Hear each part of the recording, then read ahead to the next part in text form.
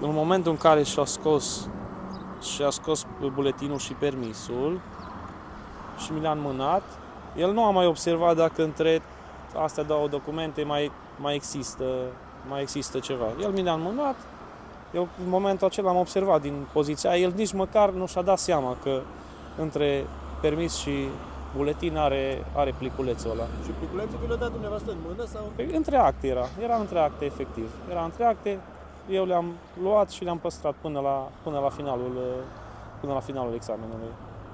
În momentul în care începeam uh, susținerea probei practice, la categoria C, i-am cerut candidatului să se legitimeze. I-am cerut uh, actul de identitate și permisul de conducere. În momentul în care el uh, din portofel și a scos buletinul și permisul, în momentul în care am observat că între cele două documente se afla un plic transparent în care se vedea o, o substanță de culoare albă, ceva urme de substanță albă.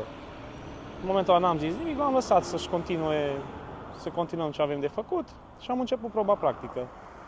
Pe parcursul probei practice i-am anunțat pe colegii de la birou rutier, ei au venit, ne-au oprit în trafic și i-au efectuat o testare cu aparatul și alcool test și cu aparatul drag test, în momentul în care a ieșit, a ieșit că candidatul consumase ceva substanțe interzise.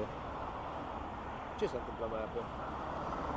Mai apoi l-am întrebat despre, despre faptul că dacă are cunoștințe despre plicul, despre plicul pe care l-am găsit eu între documentele lui, iar acesta a spus că nu, nu știe de unde a apărut acest plic. Ce credeți că s-a întâmplat? A avut emoții acum? Emoții fiecare, fiecare candidat, e firesc să fie așa mai nou și cam toți candidații ne spun că își iau ceva medicamente oricum înainte de susținerea probei practice pentru, pentru a se liniști.